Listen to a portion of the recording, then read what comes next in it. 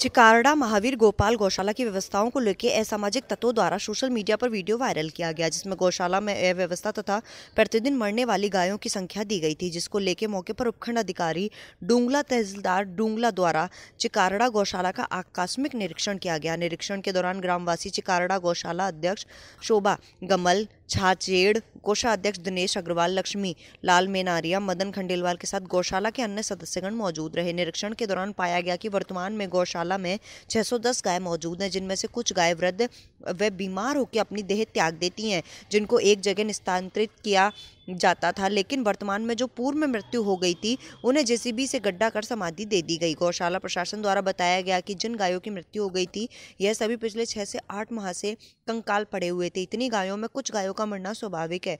गौशाला में कुछ गोदन शहरों से तथा गाँवों से गौशाला को प्राप्त हुआ था।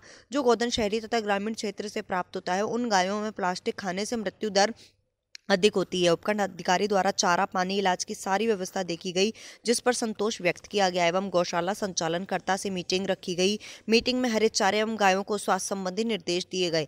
हरा चारा वर्ष भर उपलब्ध रहे एवं गायों के स्वास्थ्य संबंधी जाँच समय समय पर होती रहे। इस संबंध में निर्देश दिए गए। उपखंड अधिकारी द्वारा यह निर्देश भी दिया गया कि जब भी गौशाला में नई गाय आती है तो उसकी स्वास्थ्य संबंधी जाँच की जाए एवं कमज़ोर गाँव का समय समय पर स्वास्थ्य परीक्षण किया जाए। अन्य सभी व्यवस्थाएँ सही पाई गई। इस मौके पर पर्चा तैयार किया गया। उक्त पर्चे मौके को उपस्थित मौत वीरान को पढ़कर सुनाया गया और उपस्थित के हस्ताक्षर करवाए गए, जिसमें उपखंड अधिकारी मोहन सिंह मीना, तहसीलदार पन्ना लाल रेगर, पटवारी परसाराम रेगर, गौशाला अध्यक्ष शोभा गमल छाजेड़, कोषाध्यक्ष दिनेश अग्रवाल, उप प्रधान एवं गौशाला मंत्री लक्ष्मी लाल मिनारिया, कुंवर महेंद्र सिंह अकोला, गढ़ सुशील तातेड़, मदन लाल खंडेलवाल, रामेश्वर लाल खंडेलवाल, रमेश चंद्र गुजर, केशुराम खंडेलवाल, किशन लाल खटीक, वेटरनरी डॉक्टर के साथ गौशाला के ग्वाले भी उपस्थित रहे।